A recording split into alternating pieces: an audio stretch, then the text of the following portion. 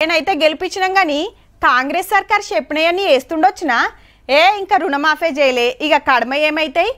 ఐదు గ్యారెంటీలు అమలవుతున్నాయి అన్నారు. అందరికి అందుతున్నాయి అనుకుంటారో? మా ఏలువడి సూపర్ అని చెప్పుకుంటారు మరి ఇదే మాట మీద ఓట్లకు పోయే తాకత్ ఉందంటారా? మొన్నంటే బీఆర్ఎస్ తోటి కొట్లాడినరు. ఇప్పుడు ఫైటింగ్ మళ్ళా గాళ్ళతోనేనా? అని ఇట్లా బొచ్చ డౌట్లు ఉన్నాయి పబ్లిక్కు. కానీ ముఖ్యమంత్రి సారేమో పబ్లిక్ మీటింగ్లా చెప్పాల్సినవి చెప్పిపోతాడాయే. హాగు గందుకే మేమే రేవంత్ రెడ్డి సార్ను ఇంటర్వ్యూ చేసి అందరికున్న డౌట్లే అడిగినాం. ఫస్ట్ గీ ముఖ్యమైన హామీకెళ్ళి షురు చేద్దాం. బాసర సరస్వతమ్మ అలంపూర్ జోగులాంబ యాదాద్రి నర్సన్న వరంగల్ రామన్న జుబ్లీల్స్ పెద్దమ్మ. ఏ ఎక్కడిది? ఏడ మీటింగ్ పెడితే అక్కడ దేవుళ్ళ మీద ఒట్టేసి మరీ చెప్తున్నాడు. పంద్రాగస్టు లోపు పక్కా రెండు లక్షల రుణమాఫీ చేసి తీరుతా అని పదేళ్ళు వెళ్ళిన కేసీఆర్ గారికే లక్ష లోన్ సుక్తి చేసుడు కాలేదు. ఇక రేవంత్ రెడ్డి సార్ ఎట్లా చేస్తాడని రైతులందరి డౌట్ సీఎం సీట్ల ఊకున్నాక మన వి సిక్స్ వెలుగుకు ఫస్ట్ ఇంటర్వ్యూ ఇస్తే ఇదే క్వశ్చన్ అడిగినాం వ్యవసాయదారుల తరపున. రైతుల మీద ఉన్న లోన్లు ఏవైతే బ్యాంకులు ఇచ్చిండ్రో ఆ బ్యాంకులకు ప్రభుత్వమే పూచీకత్తు ఇచ్చి ప్రభుత్వం విడతల వారిగా బ్యాంకులకు చెల్లించి రైతులను ఒకటే రోజు అందరికీ విముక్తి కలిగిస్తాము. రైతు భరోసా పేరు మీద ఎకరానికి పదిహేను వేలు కౌలు రైతుకు కూడా ఇస్తామని మేనిఫెస్టోలో పెట్టిండ్రు. పట్టాదారులకు కౌలు రైతులకు ఇద్దరికి ఇస్తారా సారు? ఒకళ్ళ ఐదు ఎకరాలకు మీద ఉంటే కూడా అకౌంట్లో పైసలు పడతాయా? ఈ భూమి యజమానికి వచ్చేది భూమి యజమానికి వస్తుంది కౌలు రైతుకు వచ్చేది కౌలు రైతుకు వస్తుంది. ఒకరికి ఇచ్చి ఒకరికి ఎగ్గొట్టే విధానం లేదు. చెట్లు గుట్టలకు లేఅవుట్లు అయిపోయి ఇండ్లు కట్టుకున్న వాళ్ళకు ఇట్లాంటి తప్పుడు విధానాలను తొలగిస్తాం. ఈ రైతు బంధు గురించి దానికి ఏమైనా ఫైవ్ ఏకర్స్ అని ఏమైనా ఒక లిమిట్ పెట్టే ఆలోచన ఏమైనా అసలు ఏ ఇంతవరకు దాని మీద విధి విధానాల మీద చర్చనే జరగలేదు. కేసీఆర్ సార్ ఏడికి పోతే ఆడ కరెంట్ ఉంటలేదట గింతకన్నా ఎందుకు కటింగులు చేస్తున్నారు? శ్రీనివాస్ గౌడ్ ఇంట్లో కరెంట్ పోయింది నేను తింటుంటాయని కొంచెం బకాసురుడికి బావమర్థేమో కొంచెం ఎక్కువ తింటే తింటుండొచ్చు అరగంట.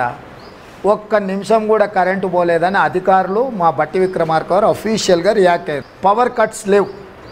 స్టేట్ మొత్తం మీద. పవర్ ఇంటరప్షన్ ఎక్కడైనా ఉండొచ్చు. ఇంటరప్షన్ అంటే ఆ చెట్టు కూలింది వైర్ తెగింది. దాన్ని రిస్టోర్ చేయడానికి కొంత సమయం పడుతుంది. బీఆర్ఎస్ పార్టీకి పది పన్నెండు ఎంపీ సీట్లు ఇస్తే అధ్యక్షుల వారు అగ్గి పుట్టిస్తారట అని ముచ్చట ఎల్లబెడితే. ఇప్పుడు పన్నెండు ఇస్తే ఏందో చేస్తాడు. ఏం చేస్తాడు పన్నెండు ఇస్తే? అమ్ముకుంటావు మోడీకి పోయి తూకానికి? రెండు సార్లు వేసింది అదే కదా? కవితక్క అరెస్టు గురించి ఈ మాట అన్నాడు. దేవుడు అనేటోడు ఒకటి ఉంటాడు ప్రకృతి అనేది ఒకటి ఉంటుంది నేను ఎప్పుడు చెప్తుంటా. నా బిడ్డ పెళ్ళికి రాకుండా వేస్తే ఆయన బిడ్డను తీసుకొని పోయి జైల్లో వేసేయండి. ఓ తండ్రికి అంతకంటే శిక్ష ఇంకేం కావాలా? నువ్వు నడపలేవు నువ్వు నడపలేవు అని అంటే కేసీఆర్ నడవకుండా బోర్లో పడ్డాడు. ఏబిసిడీలు రాని ఏలడంత లేని ఎల్కేజీ పోర్లకు కూడా ప్రైవేట్ స్కూళ్ళలో వేలకు వేలు ఫీజులు గుంజుతున్నారు. మీరేమన్నా కంట్రోల్ చేస్తారా సారు? డెఫినెట్గా అది చాలా సీరియస్ కన్సర్న్ ఉన్న Yeah. మధ్యతరగతి ది- దిగువ తరగతి కుటుంబాలకు అది మోయలేని భారమైంది. మానవత్వంతో మనము వ్యవహారం చేయాల్సిన అవసరం ఉంది డెఫినెట్గా చేస్తాం. కాంగ్రెస్ సర్కార్ వచ్చినాక టీఎస్ టీజీ అయ్యింది కొత్త తెలంగాణ తల్లి రూపం తయారైతుంది జే జే హే తెలంగాణ రాష్ట్ర గీతం అయ్యింది. మరి తెలంగాణ జాతిపితను కూడా ప్రకటిస్తారా? అంత గొప్ప మనిషి ఎవరని అడిగితే? తెలంగాణ జాతిపిత అని మనం ఎవరినైనా పిలవాల్సి వస్తే ప్రొఫెసర్ జయశంకర్ గారు మనకు ఆయన సిద్ధాంతకర్త ఈ తెలంగాణకి దాంట్లో ఎవరికి శశపిశలు అక్కర్లేదు. పన్నెండు వందల మంది పిల్లలు చచ్చిపోతే రాని తెలంగాణ చంద్రశేఖరరావును చూసి వచ్చిందా? మీకు పవర్ వచ్చిన ఐదు నెలలకు ఎంపీ ఎలక్షన్లు వచ్చినాయి. మీ గ్యారెంటీల అమలు మీ పనితనము మీ ఏలువాడికి ఎన్నికలు పరీక్ష లెక్క అనుకోవచ్చా సారు? మేము మంచి చేసినాం అనుకొని మీరు భావిస్తే భవిష్యత్తులో తెలంగాణ బాగు కోసం మేము కట్టుబడి ఉంటామనే దాని మీద మీరు ఓట్ చేయండి.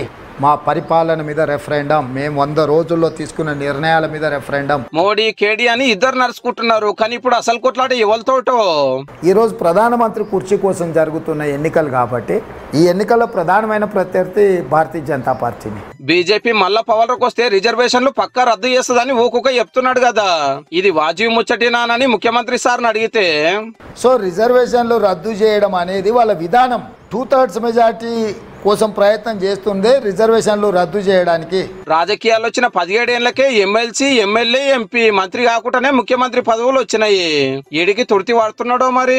అరే అవకాశం వస్తే బాగానే చేసిండు ఆయన సమాజం అనుకుంటే చాలు అంత చాలు నాకు అంతకు మించి అప్రిషియేషన్ అక్కర్లేదు. పిల్లగాడు చెడగొట్టలేదు అనుకుంటే చాలు. హౌసారు ఈ నడుమ ఢిల్లీలో హిందీ ఇంగ్లీష్ టీవీలకు ఇంటర్వ్యూలు పక్క రాష్ట్రాలలో ప్రచారాలు చూస్తుంటే జాతీయ రాజకీయాలకు పోవాలనుకుంటున్నారా? ఎట్లా? పది సంవత్సరాలు.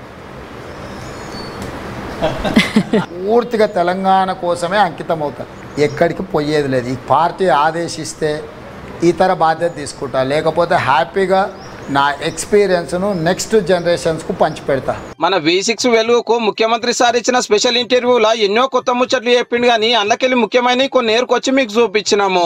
ఫ్యామిలీ నుంచి ఎలాంటి సపోర్ట్ ఉంటుంది? ఏమైనా కంప్లైంట్స్ ఉంటాయా? ఉంటాయి కానీ నాకు చెప్పరు పెద్దగా. చెప్పినా కూడా లాభం లేదని.